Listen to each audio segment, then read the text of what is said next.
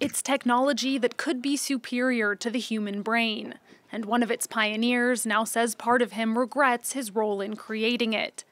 75 year old computer scientist Geoffrey Hinton says he quit his job at Google so he can independently share his concerns about AI technology, which include fears over disinformation and stealing human jobs, but also go far beyond that.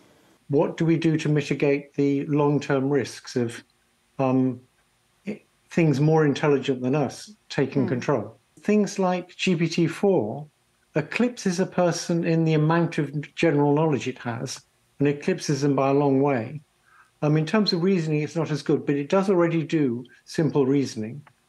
And given the rate of progress, we expect things to get better quite fast. So we need to worry about that.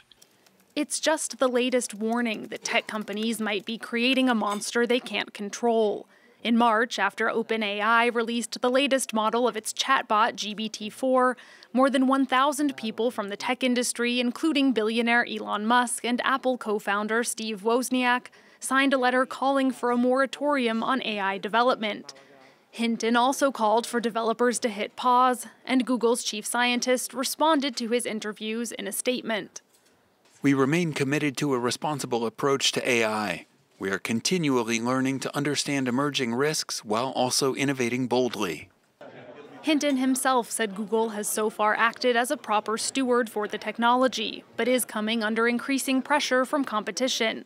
He warns that tech giants are trapped in a race that will require global regulation to stop.